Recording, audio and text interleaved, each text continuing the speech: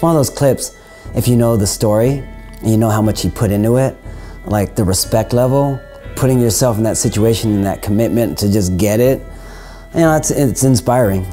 I was on a zero trip as a bro. One day we ended up at Clipper. Pretty iconic. I mean, it's definitely San Francisco at its finest. For some reason, 360 flip nose blunt was something that popped in my head and I started trying it. That's a Duffy move. Remember, is it virtual? I, the first one I seen was Pat Duffy do it in like some old Plan B video. The trick's ridiculous. Thing might be harder to 50-50 because it's so rounded. It's not an easy thing to grind. Frank Gerwer doing nose grind on it is pretty fucking jacked. It's different because if you ever skated something with a bevel, you know that it could push you off. Definitely after having a Bust or Bail contest at Clipper, it's like nearly impossible to think of a trick that's semi-legit to do there. Shit, after big spin back tail to fakie.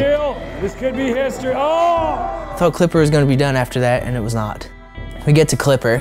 I've never seen a 360 flip nose blunt on a hubba, and for some reason I feel like I can do it on this hubba. There's a lot of risk to take on that trick on this spot because as soon as you get in, your foot slips and you go down, bam, bust and bail.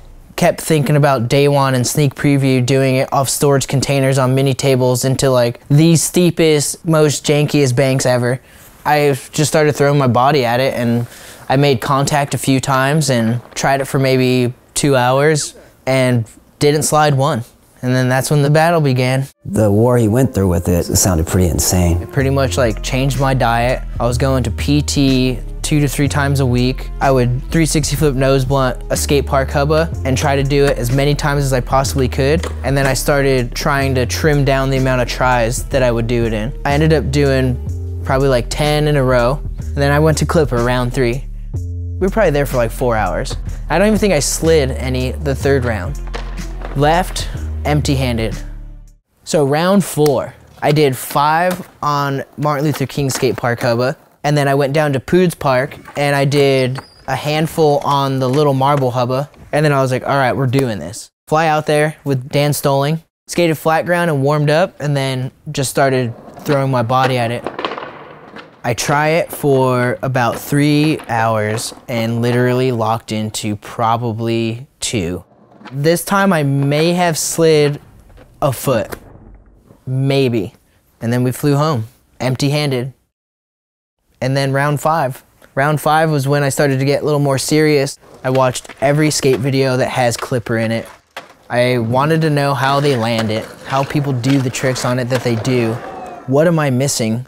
We kind of decided like maybe we need to bring some homies. Torey Pudwill, Dylan Wicken, Dan, and myself decided to make a trip out of this next journey.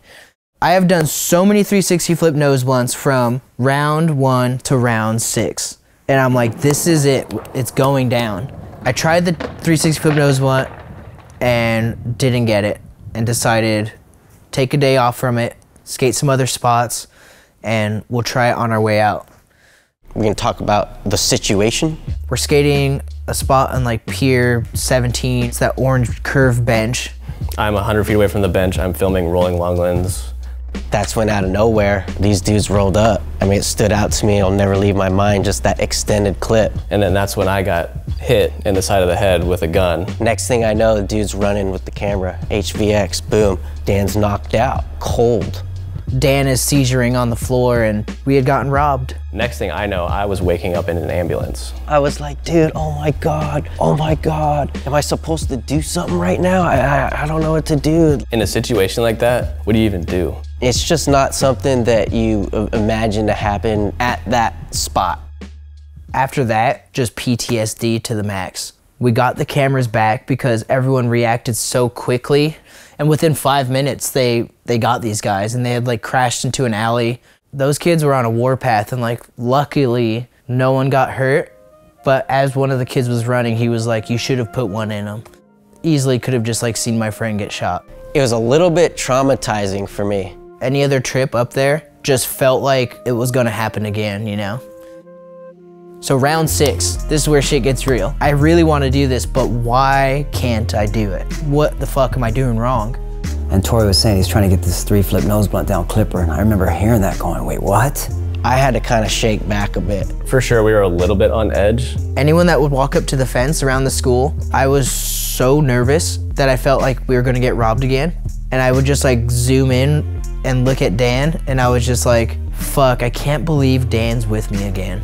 That next time we went after getting jumped, he got really close. He slid a few all the way to the bottom. He put a few down. Tried it for about three hours, landed on seven of them,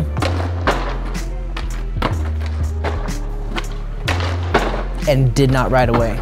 Incredibly robbed again. This time, not with a gun. When you go back a couple of times to a spot, that means you've been going through it. Could you imagine driving home six times and the sixth time you just like your homie got beat up, you lost the camera. You're pretty much on the verge of crying, and you just use that fuck it and just go for it. Now there was a deadline for the part. So we kind of had Torey in our ear, not in a bad way, but he's just in our ear like, hey, we, we do really need to get this done. What can I do to help you guys get there and get the trick done? There is an official deadline, and this is the trick that is going to make your part. Well, everybody out there that films video parts knows you always want to get that one trick where you really, really pretty much died for or just worked so hard for. I'm like, hey, dude, you want to go out again? Let's book a ticket next weekend. You could try this trick a thousand times. I wouldn't be bummed because you're gonna get it. You just got to get back there. Round seven. At this point, I started doing 360 flip nose blunts on the big hubba at El Sereno Park. That week, I did 25 360 flip nose blunts leading up to the weekend that I was going to Clipper.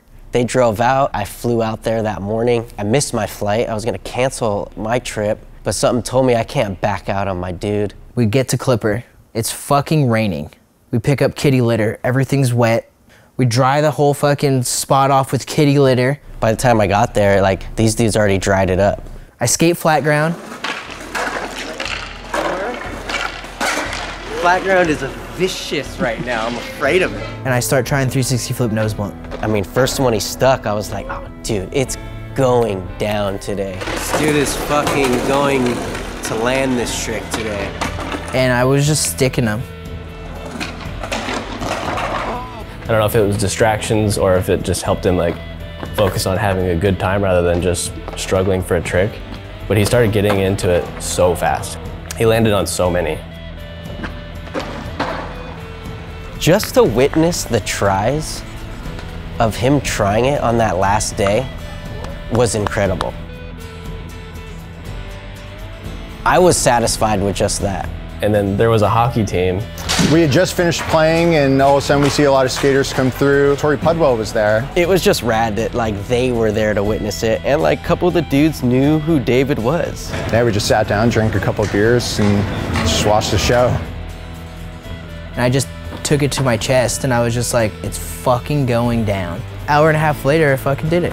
We saw it happening uh, as I'm filming. Scoop, flick, puts it in, hits the ground, and then he starts to lean back and it looked like he was gonna fall. Kind of did something with his arms and he saved it, it rolled away, and all of us were silent for a second. These guys just erupted cheering, and then that's kind of all when we realized, like, holy shit, you know, he just did it. But you know what's crazy is the hockey players actually posted the 360 flip nose blunt four months before the video part came out. I have the angle. The emotion that he had on his face when he rode away from that trick, that was priceless. I felt a weight lift off my shoulders and leave my fingertips. And I just rode to the wall. Let David have his moment in the corner and apparently shed a tear. He's crying right now. He's so happy. And literally one tear rolled down my cheek. And then I had a panic attack. Clipper was my therapist. It finally happened. We've been back here so many times, and we're done. Good job, bud. So glad that's done. To me, it's the best trick down it. But that's me being biased. Watch this whole part like, wow, okay, wow, wow, wow. And then that one, you're just like, wow. I know I saw the video footage of it in this Yeah, part. Yeah. what did you think? Holy shit, he just three flip nose blended that thing. Just to see one of my favorite tricks done, proper, and taken to its highest peak. That's the gnarliest trick I've ever seen go down in my life. And like, I might not see anything gnarlier go down.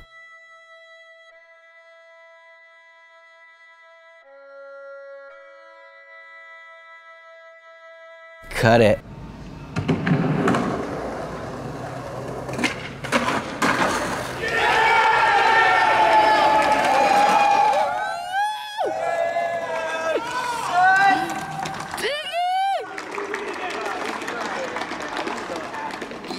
Dude, that's how you come get a trick like and shut it down in one day. Wow. So glad that's done. Wow. Fuck. Wow.